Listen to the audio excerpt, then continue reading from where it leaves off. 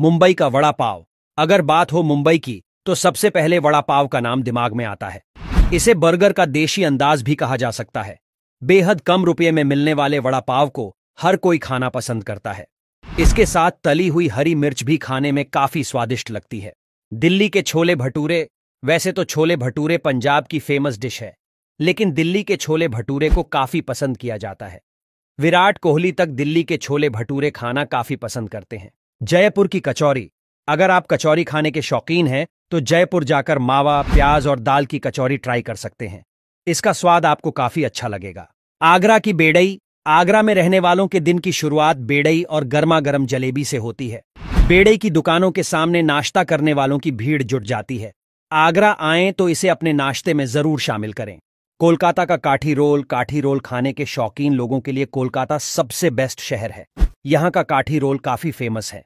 लखनऊ के टुंडे कबाब टुंडे कबाब, भारत के उत्तर प्रदेश राज्य लखनऊ का सबसे स्वादिष्ट व्यंजन है स्वाद लोगों के मुँह में पानी लाने पर मजबूर कर देता है। टुंडे कबाब लखनऊ का सबसे प्रसिद्ध और पसंदीदा व्यंजन है, पटना का लिट्टी चोखा बिहार की राजधानी पटना में अगर आपको लिट्टी चोखा खाने का मौका मिले तो ज़रूर खाएँ। यह ग्रामीणों का भोजन रहा है, जो आज देश के कोने कोने में प्रचलित हो चुका है। पोषण से भरपूर इस देसी स्नैक्स को आलू, बैंगन और टमाटर के चौखे के साथ खाया जाता है। चेन्नई की इडली सांभर इडली सांभर सबसे ज़्यादा पसंद की जाने वाली साउथ इंडियन डिश है, जो खाने में हल्की और स्वादिष्ट होती है। इसे आमतौर पर नाश्ते में और मूंगफली या नारियल की चटनी के साथ परोसा जाता है।